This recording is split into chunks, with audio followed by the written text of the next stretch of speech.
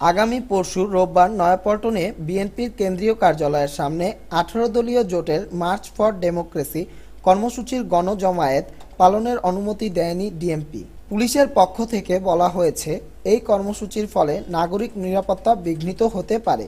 দুপুরে ঢাকা মহানগর পুলিশের জনসংযোগ বিভাগ থেকে এ তথ্য নিশ্চিত করা হয়। এর আগে সকালে ঢাকা মহানগর পুলিশের মুখপাত্র মনিরুল ইসলাম সাংবাদিকদের জানান বিভিন্ন সময় ঢাকার বাহিরে যারা নাশকতামূলক কর্মকাণ্ডের সাথে জড়িত ছিল, তারা ঢাকায় এসে নাশকতা করতে পারে, এমন তথ্য তাদের কাছে আছে।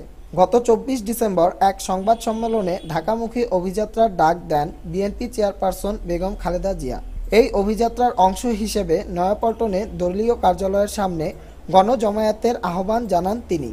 এর পরপরই বিএনপির একটি প্রতিনিধি দল নয়াপল্টনে সমাবেশ করার অনুমতি চায় ঢাকা মহানগর পুলিশের কাছে। অবগত আছেন যে আগামী উনত্রিশে ডিসেম্বর মার্চ ফর ডেমোক্রেসি নামে যে কর্মসূচির ঘোষণা দেওয়া হচ্ছে সেই কর্মসূচিকে কেন্দ্র করে কর্মসূচির জন্য, অনুমতির জন্য আবেদন জানানো হয়েছে। একটা আবেদনপত্র আমরা যাচাই বাছাই করছি। তাদের কেউ এখন পর্যন্ত যাদের ছবি প্রকাশিত হয়েছিল, তারা গ্রেপ্তার হয়নি তবে তাদের শনাক্ত করা হয়েছে এবং তাদের গ্রেপ্তারের জন্য অভিযান চলছে।